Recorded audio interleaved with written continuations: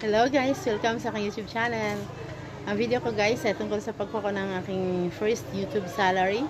Kasi nag ah, may message na sa aking YouTube sa YouTube studio si Whitey na makukuha ko ng aking sahod.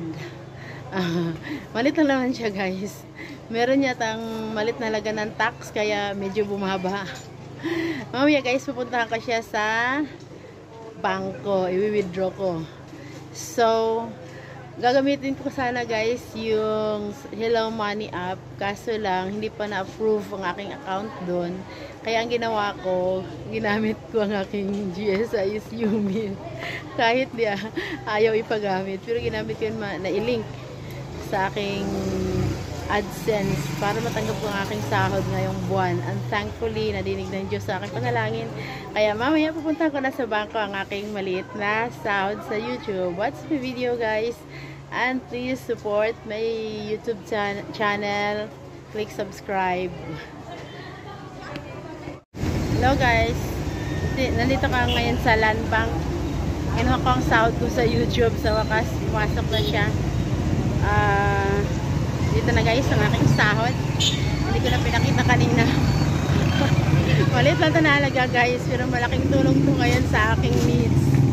Ang laki pala ng binawas ng bangko. Tama nga sinabi ng isang vlogger na maganda talaga pag gumamit ng Hello Money app ng AUB Bank. Kasi ito guys,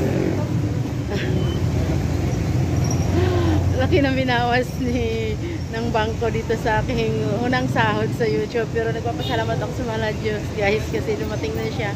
Need na need ko talaga ngayon ng pera. Ito guys, kung magkano tayo hindi ko na i-reveal.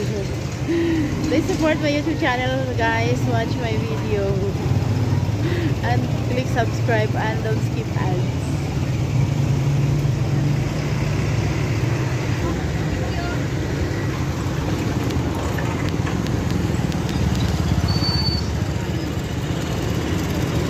So, anong ginawa ko guys sa aking konting sa maliit na sahod sa YouTube. Ang unang sahod ko guys ay pinang grocery ko. Kasi kailangan na namin ng pagkain. So guys, pinamili ko na ng grocery ang aking dito na, nag-grocery na ako para bilhin ang needs namin sa bahay para sa unang sahod ko sa YouTube. Sana ay next time makasahod ulit para magamit sa iba pang mga needs.